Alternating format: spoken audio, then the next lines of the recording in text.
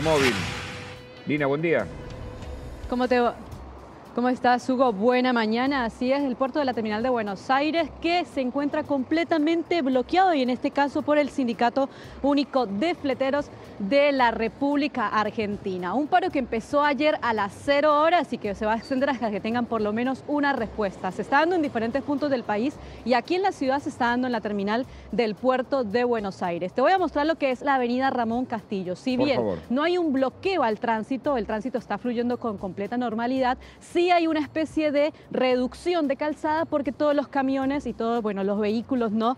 De, en este caso, los propietarios de los vehículos que hacen parte de este sindicato, se posicionaron sobre toda esta avenida importante que rodea todo lo que sería el bajo de la ciudad de Buenos Aires. ¿Qué nos contaron? Si bien ahora todavía eh, no hay mucha actividad porque empezó ayer a las cero horas, nos contaron que estuvieron haciendo guardias en este lugar, que fueron y vinieron, lo que nos dijeron es que el reclamo, el reclamo viene hace meses al gobierno nacional y está relacionado, por supuesto, con las mejoras de condiciones de los diferentes eh, eh, conductores, ¿no? Mejora de tarifas, mayor participación sindical, que todo lo relacionado con, las tarifas, con, con, la trazabilidad de los viajes, que era lo que nos decían, eh, sea realmente se reciba, ¿no? En este caso, el, pago acorde a sus trabajos. Lo que, lo que dicen es, el, el, logo es, el transporte de carga está en emergencia. ¿Y por qué transporte de carga? Si bien nosotros estamos en el puerto y te estamos mostrando aquí, en este caso, el sindicato de fleteros de todos los que trabajan para la carga del puerto, son todos los fleteros de todo el país, no solo de carga, todo lo no solo de puerto, perdón, todo lo que es cereal, todo lo que es gaseosas, todo lo que es fertilizantes, todos los espuertos en mudanza por eso los bloqueos son en diferentes puntos del país.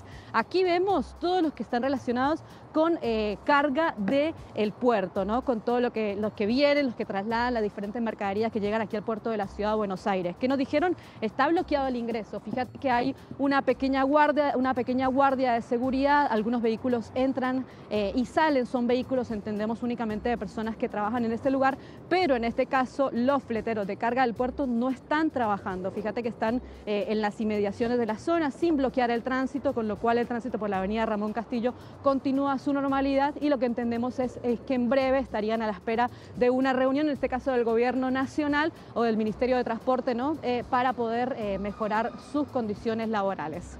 Muchas gracias por el informe muy completo, Lina. Eh, Belén, eh, al problema económico se suma un problema gremial ahora, nada menos que en el puerto. Sí, lo que hay que diferenciar acá en este caso, Hugo, porque bueno, uno muchas veces asocia los transportes con los, con los grandes gremios como el que lideran Hugo y Pablo Moyano, pero esta situación, que es la de los fleteros, es quizás de aquel dueño de camión que tiene uno o dos camiones y es como un autónomo, ¿no? Que se rige por la tarifa que fija el Estado, que muchas veces la fija con la participación de los gremios y las entidades empresarias, pero son como los grandes jugadores, ¿no? El fletero luego queda asumido, eh, porque claro, aquel que tiene una gran empresa de transporte, distribución y logística puede negociar su tarifa con el, dador de carga, pero los fleteros muchas veces están sujetos a competencia desleal de otros que se suman y quizás tiran la tarifa a la baja, por eso bueno, lo que están planteando es una recomposición de la tarifa para poder tener mejores opciones eh, en su mercado, ¿no? en su negocio. Muchas gracias, Belén.